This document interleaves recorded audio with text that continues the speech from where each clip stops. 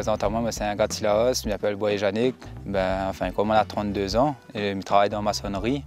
Et maintenant, comme ça, ma femme et avec euh, mes trois enfants, n'a pas trop longtemps, on commence dans la compétition de la, course. Il fait enfin une côte euh, ben, euh, cette année, m'a fini quand même trois courses. Il fait, ben, là, il motive plus à partir de vers d'autres courses. Courais un peu déjà pour moi, même dans les chantiers. Après, d'après un peu ce qu'on me faisait, le frère a décidé de dire pourquoi est-ce que pour moi dans, sur le cross python, ben m'a fait le cross python après un coup m'a rentre dedans. Ça c'est la première médaille qu'on m'a fait mon premier cross python. Enfin, côte, euh, mon premier cross python là, deux ans de ça, on m'avait fait un 2 heures de temps 5.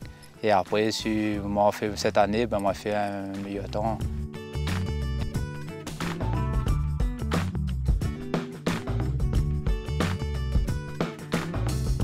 C'est surtout le défi, toujours essaye. Surpasse à moi, surtout dans, fait pas, si moi fait ce temps-là cette année, ben, l'autre année, mais vous essayez toujours monter au-dessus de mon temps. Je à la ligne départ, l'émotion, ben, tu as besoin de pour démarrer, tu as besoin essayer, déjà essayer de classer un peu.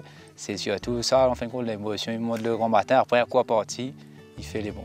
Le grand raid, pour moi, déjà, il représente déjà, c'est quand même une course euh, tout euh, concurrent, il voudrait quand même, euh, s'il aurait la chance mettre son nom sur une course comme moi, bah, c'est un, un, rêve, oui. Là, quoi, moi, déjà, on attiré par le grand raid. Peut-être que mon ces jours-là, mais des petites courses, peut-être un de ces jours, mon m'a dans le grand raid aussi, il ne connaît pas.